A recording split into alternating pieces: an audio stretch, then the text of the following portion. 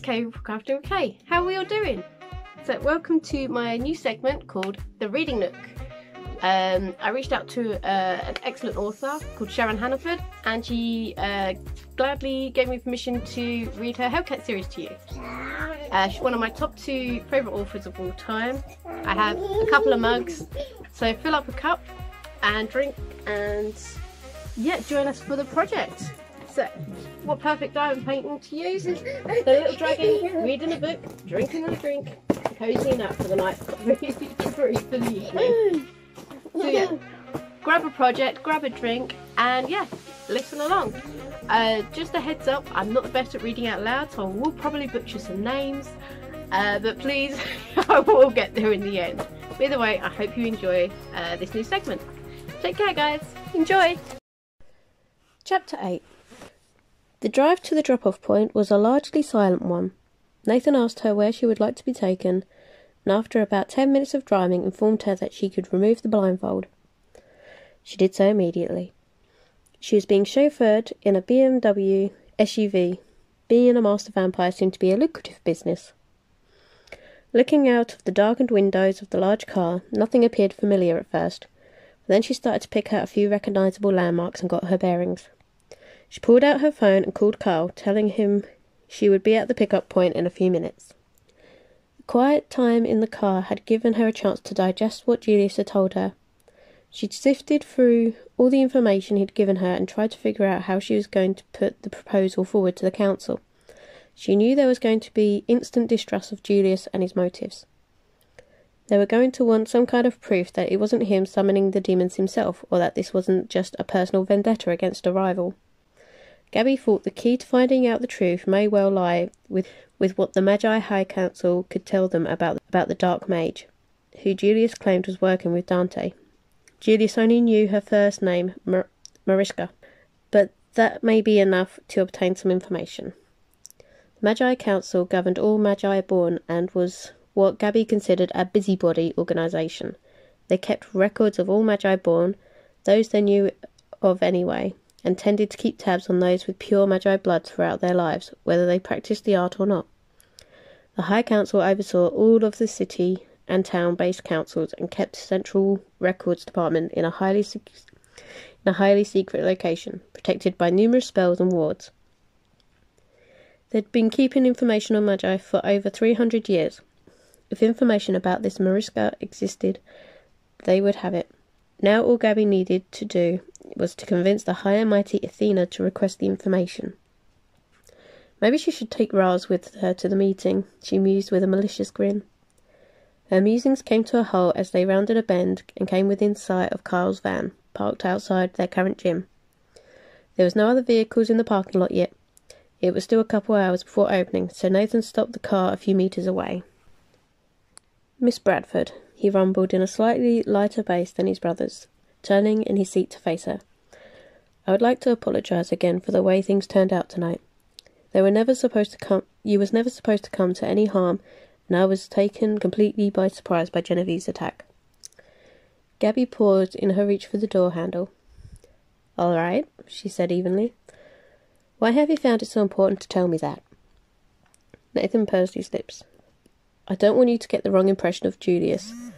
I know this looks bad, perhaps like he set the whole thing up, but he generally did give us the order to bring you to him unharmed, and also to make sure that the wolf was left alone and unharmed. He paused for a moment, chewing on his lower lip, then seemed to come to a decision. You see, I probably shouldn't be telling you this, but I think you may need to look at the situation from another perspective. Julius has only been master of the city for a few years. In that time, he's made changes, and not ev- and not all vampires in the clan are happy with the new regime. I'm afraid there are those who don't agree with this decision to try and join forces with you. Gabby suddenly tensed, ready to fling herself out of the car. Nathan just smiled apologetically. No, no, you've got nothing to worry from me. I'm with him on this. I trust Julius with my life, and I think the changes he's made are for the betterment of all of us. He shook his head. Even if I didn't agree with him, I would never go against his orders. But you should know that there are others who think less of him for asking for your assistance. In vampire society, asking for assistance is seen as showing weakness. If he's asking for your help, he's serious about the threat that's heading our way. I'll try to, I'll try to take that into account, Gabby said diplomatically. Carl had lost patience waiting for her and strode over to rip the car door open and poke his head inside. You coming? he asked brusquely, glaring darkly at the vampire in the driver's seat. Carl reached over and picked up the bundle containing her swords and thrust them at Carl. Take these, she ordered, pushing them into his hands and pushing him backwards so she could get out. As she eased out of the car, Carl took in the fact that she was only using one arm and his lip twisted in an angry snarl. She sighed, sighed tiredly. Leaning towards the car, she said, Thanks for the ride, Nate, and slammed the door closed, turning back to face Carl as the car pulled away smoothly. The expression on Carl's face was caught somewhere between concern and anger. What's wrong with your arm? he demanded. You didn't tell me you'd been hurt. Because I knew how you'd react. Gabby's temper flared instantly. I'm a big girl. I can look after myself. We have much bigger concerns than my arm, she finished darkly. What?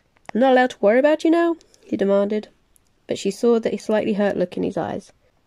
She sighed heavily, and her ribs protested. Sorry, it's been a long night.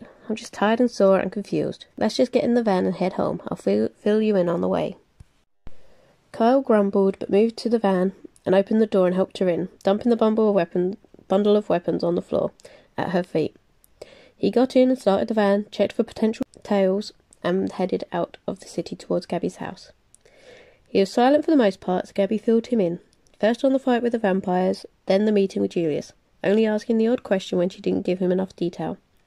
His expression went from tight lipped fury at the kidnapping to incredulous disbelief over the reason for the meeting, and finally to a deep thoughtfulness coupled with vague suspicion as he tried to work out what other motives could lie behind the proposal from Julius.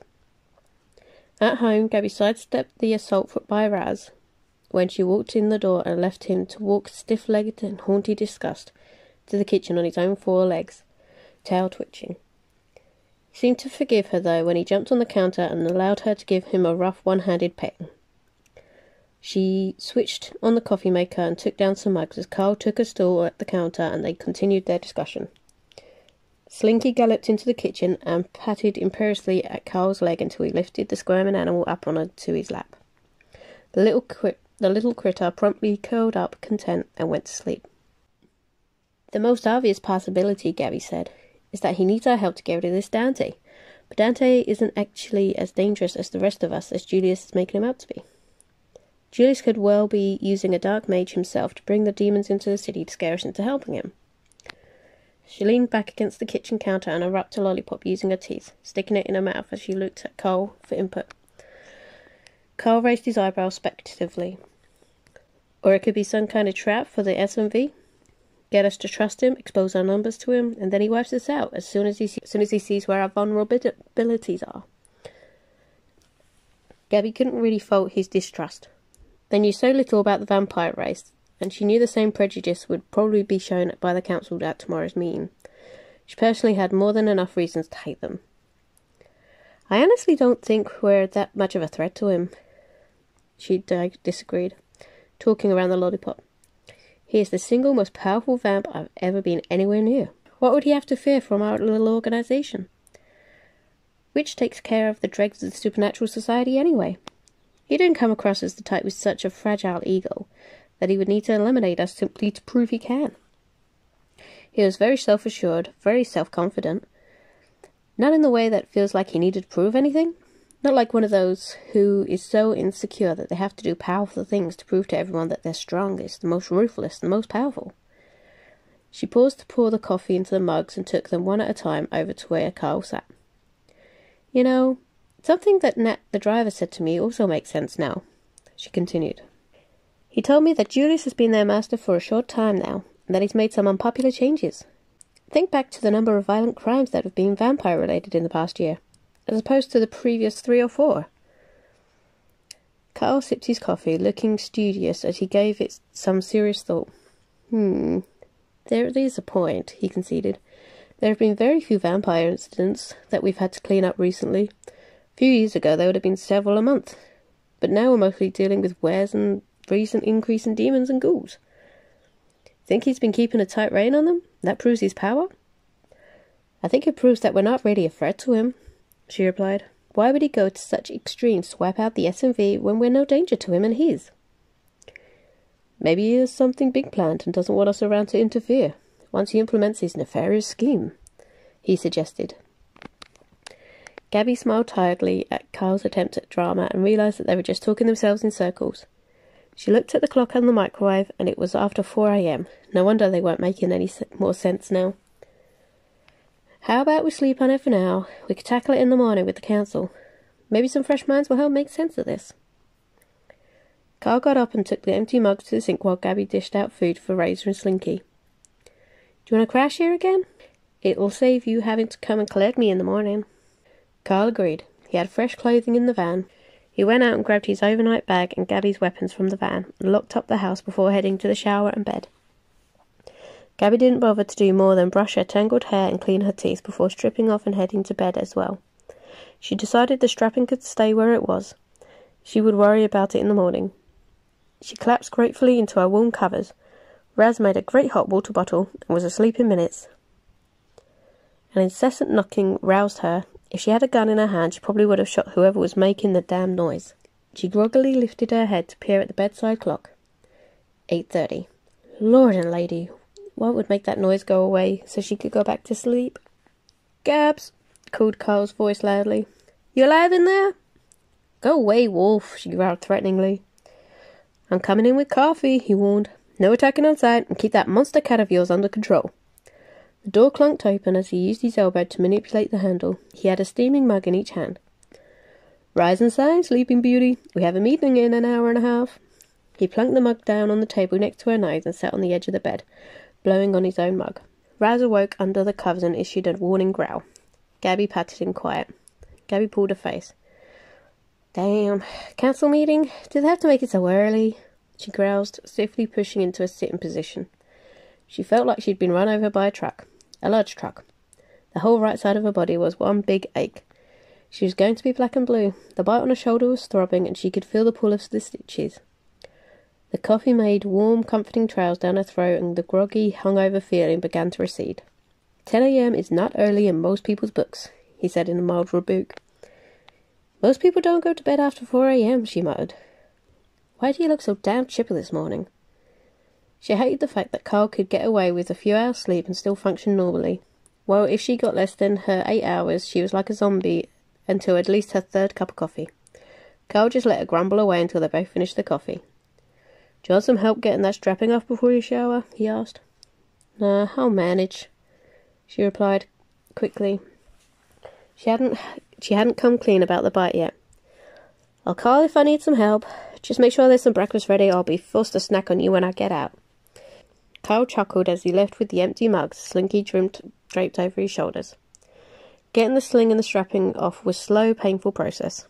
One look in the bathroom mirror was enough.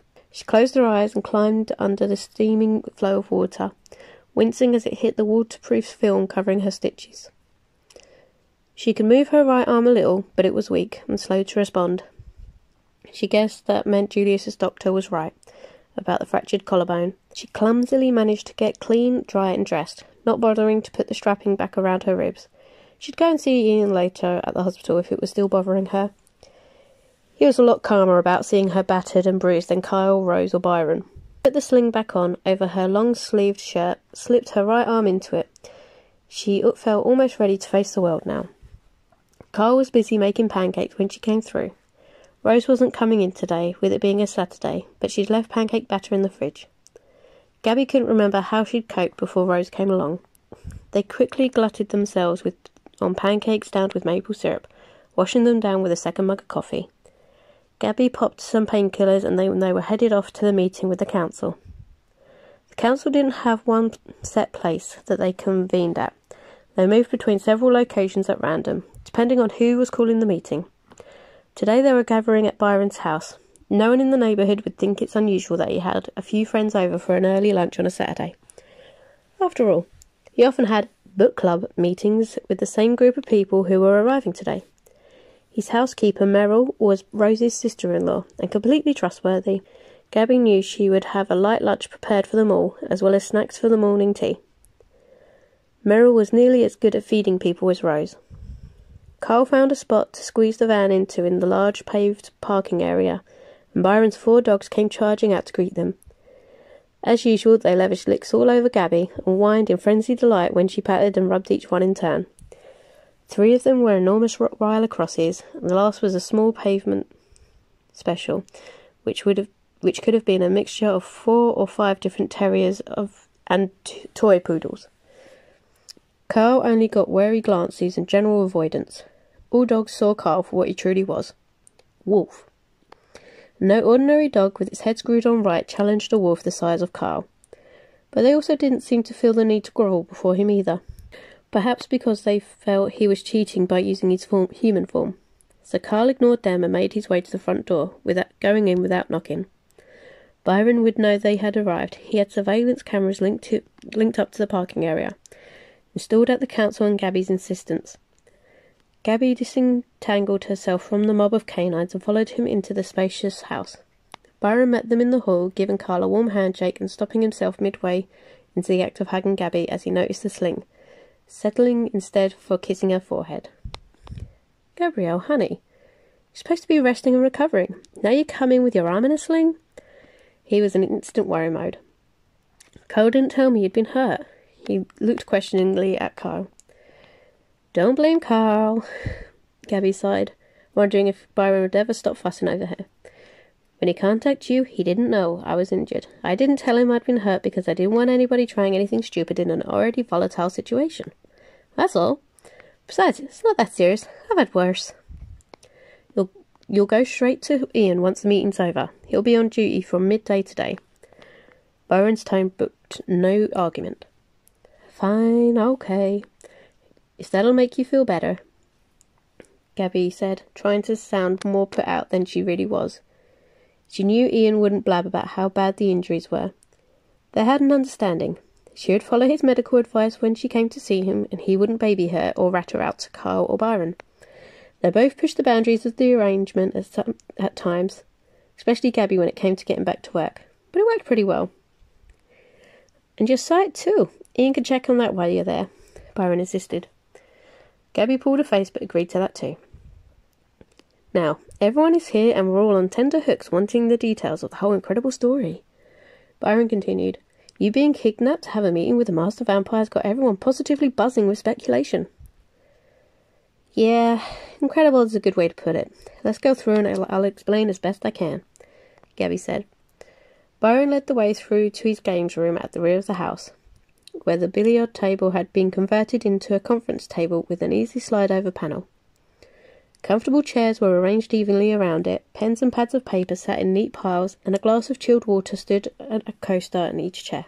The council members were scattered around the tea table in the far corner of the large room. Merrill had outdone herself in the snacks department. Scones, muffins, a cheesecake, and pecan pie all called invitingly to Gabby from the little table. All the council members were present and accounted for. Athena was dressed as usual in a neat businesslike suit, this one in a pale grey with lilac blouse and shoes. She already had her cup of tea and a single muffin on a plate and was heading to the table. She nodded an icy, polite greeting to Gabby and Carl and sat down, opening a slim leather briefcase to pull out a PC tablet and ignoring everyone around her. The others were far more enthusiastic in their greetings and concern over Gabby's injuries. Margaret was a shapeshifter elder. Having reached the vulnerable age of 83, she rarely shifted anymore. But she was as sprightly as any 50 year old Gabby knew. She was warm and grandmotherly, and she showed genuine concern for the hunters and the crew in their dangerous work. She had a backbone of steel and an uncanny ability to unravel any mystery, and a, me- and a memory for detail that rivaled a computer. She fussed over Gabby and asked how her eyesight was, and then checked up on Razor and Slinky like she was asking after someone's children.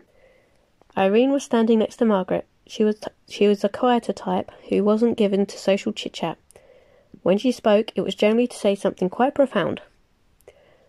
The tall, slender, middle-aged brunette was also a magus, a powerful one. She was a senior magus to the city, and one of the people who had voted Athena into the High Council. Gabby knew that this woman saw more than you really wanted her to. Irene had the ability to see auras, and she also seemed to have some innate sense that told her when someone was lying or glossing over the truth. She quirked one eyebrow when Gabby told Margaret that she had a simple shoulder strain. Gabby prayed she would leave well enough alone and silently thanked Carl when he pushed a cup of coffee into her hands. She was grateful that she'd shove a container of painkillers into her pocket. She'd need them before the fa- before the meeting concluded. Rounding out the members of the council was Alistair, a, a werewolf. He was in his forties now and had been infected by an ex-girlfriend in his late twenties. He was an unassuming but oddly attractive man with a lean, wiry build and a shock of dark blonde hair. His position as head of the Department of Prisons proved vital for the SMV cause. He could get imprisoned weres into isolation cells over full moons and was able to exert some kind of control over them while in prison, even going as far as getting them released if they were proving too much of a problem inside. Of course, those who were released early by Alistair were never seen or heard of again. It only taken two or three of those to convince the rest to behave. The stories travelled and grew more sinister with every telling, which served Alistair's cause perfectly. He would normally have given Gabby a rough hug or a punch on the shoulder by the way of greeting, but today settled for roughing up her hair as he made his way to the table with a mound of food on his plate. Gabby mocked growled at him before following his example, heaping her own plate full of cake and pie. she hastily carried the plate back to the table where she'd left her coffee as Byron called everyone to their seats. She ate quickly as Byron called them to order, gave a short welcome and thanks, and then gave her the floor. Morning, everyone, Gabby said, raising out of her seat and quickly brushing crumbs off her mouth, as the small group gave her their full attention. Thanks for agreeing to this meeting on such short notice. Sometimes it paid to be polite. She knew how these council things worked. The less she antagonized them, the better. If you don't mind, I'm going to take a seat while I try and explain this, as it is somewhat a lengthy story. When the others murmured their assent, she sank gracefully into the chair, pulling it close to the table and leaning forward to rest her good arm on the mahogany surface. Gabby told the story, breezing over the initial ambush, but stating that she had killed two of them who attacked her. She then related the story that Julius had told her, trying to keep as close to his exact words as possible.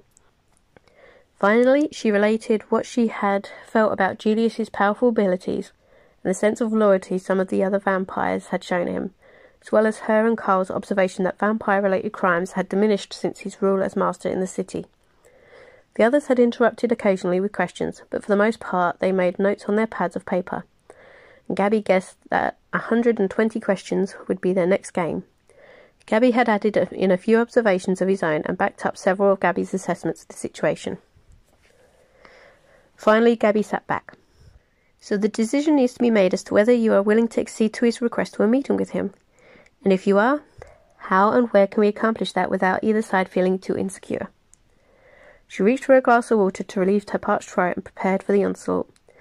Everyone began talking at the same time, voices ranging from excitedly agitated to grumpily suspicious. Athena was sitting primly upright in a chair, studying Gabby from across the table. All right, everyone, Byron called loudly, letting them quieten down. Obviously, we have many questions for Gabby. Let's do this in a calm, ordered way. I think we'll do a lap round the table. Each of you can ask Gabby two or three questions. Once she's done with those, we'll take a lunch break and then we can let Gabby get some rest while we discuss the situation further. Gabby could have kissed him at this stage. She just wanted to have her say and get the hell out of here. She'd been dreading that Byron might keep her and Kyle in the session until the decision was reached. While the others were reading through their notes and preparing their questions, she shifted to get Carl's attention and then peered forlornly at her empty coffee cup. Carl shook his head wearily and rolled his eyes, but got up and poured her a fresh cup, taking it to her at the table and muttering, You owe me big time, into her ear as he bent over her. She smiled mischievously. I'll tell Raz not to bite you for a whole month. She offered in a low, teasing tone. Carl snorted and returned to his seat with a martyred look on his face. Everyone ready? Byron asked. He received nods from the other council members. Good. Athena, how about you get the ball rolling? Athena nodded, leaning forward to pick up her neatly written notes.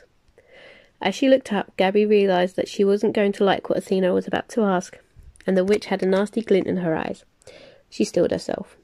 You sound like you're quite impressed by this so called master vampire, Athena said in a clear, clipped voice.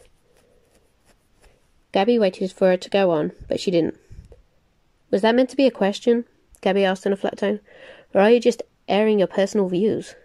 Gabby bit back a smile when she noticed a slight flush rise at Athena's che- cheeks. I'm just noting, Athena ground through stiff jaws, that you don't seem quite upset with this vampire for ambushing, assaulting, and kidnapping you. My actual question is whether you are an impartial witness to this thing, or if he has managed to infiltrate your mind and influence your emotions and reactions. Athena! Irene's calm, strong voice admonished sharply. A question like that is uncalled for. Athena switched her glare to Irene, eyes flashing warningly. It's, it's a perfectly legitimate question. What if she's been sent by a vampire to trick us into trusting him? He can apparently control other vampires. Gabrielle has vampire blood, so there is a strong possibility that the reason he chose her to be his messenger. He knew he'd be able to control her. She spat the last sentence out. Gabby almost laughed out loud. If Athena actually knew exactly how Gabby had reacted to the impossibly good looking vampire, she'd have had a far bigger leg to stand on. As it was, Gabby slowly rose to her feet, put a good hand on the table, and leaned forward and leaned across towards Athena, her eyes glittering dangerously. She could hear the hissed intake of breath from the others at the table and felt Kyle tense, tense to react. As Byron started to rise to calm, rise to calm the situation, she froze him with a look. If that is what you suspect, Gabby drawled softly, then how about we prove you wrong quickly, and after that you sit down and shut up. Your question time will be over. She had to give it to the witch. She didn't back down, even though her heart was racing and her breathing was coming in short, sharp bursts. Irene, will you check my mind for any ex- extraneous presence, please? Gabby ordered quietly without taking her eyes off Athena. I don't need to check your mind, Gabby, dear. Irene stated emph- empathetically, shaking her head. I can see quite clearly that there is no disturbance in your aura. Besides your injuries, which are worse than you let on, your mind has not been tampered with. She turned her attention to the younger Magus, which Athena would have known if she'd bothered to look for herself. She paused for a second, letting her reprimand sink in, and then directed her next comment to Athena in, pres- in person. Athena, you can't let your prejudices rule your common sense in a council session. That kind of conduct is not becoming of a member of the High Council. Athena looked shattered for a second, her face as pale as a vampire's, and then a haunting mask settled over her features as she threw herself back into the chair and folded her arms, anger flicking the taut muscle of her jaws. Wow, thought Gabby, looking, uh, looking with new respect at Irene. She knew the old woman had a backbone of steel, but she never thought she'd see her bring the witch down to size like that. She took a careful, relieved breath and settled back into her own seat as Byron stood up to restore order. Please, everyone, let's not forget that Gabrielle has been through a lot in the last few days. We're not here to shoot the messenger, so keep it relevant. Try not to repeat each other's question. Margaret, what have you got for Gabrielle? Byron waved to the shapeshifter who was sitting nearest to Gabby and took his seat. Margaret shot a displeased frown at Athena's way before smiling gently at Gabby. Gabby, my dear, we all know you have as much reason to dislike and fear vampires as anyone. So I'd like to know if you feel that there isn't any merit to us meeting with this Julius. You are the one in his company, and I know you to be a very good judge of character. What reservations would you have, and do you think he would have any reason to try and destroy the Malus Venturi or its members? Gabby considered the question carefully before answering. As I've said before, he is a particularly powerful vampire. Kyle and I discussed this a little last night, and I see no reason for him to want to destroy the SMV. We are simply no threat to him. I think his request for a meeting to set up some kind of unified group is a genuine one. Whether his need for our help is purely selfish, though, I can't tell you. Perhaps Dante is of no threat to us directly, but for what it's worth, my own gut instinct says that he's meant me and the rest of the SMV no harm. Margaret nodded thoughtfully. Thank you, my dear. You did very well in difficult circumstances.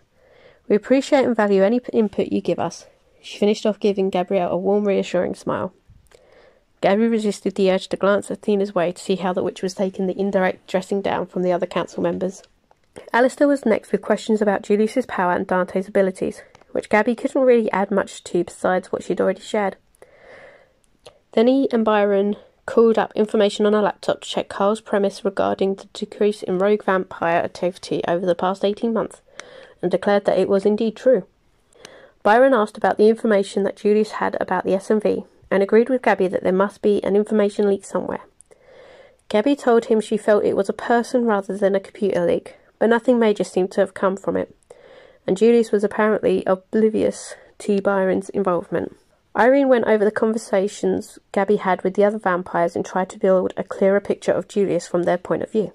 Of course, it could have all been an act, but it seemed unlikely they could have pulled it together on the one night that they happened to catch Gabby without a crew. It was after midnight when they broke off for lunch. Gabby immediately went to the bathroom and swallowed some painkillers before heading back to enjoy Meryl's splendid lunch spread. She and Athena stayed out of each other's way, and after lunch, at Byron's insistence, Carl drove her to the hospital for Ian to assess her injuries. See you next week. Bye.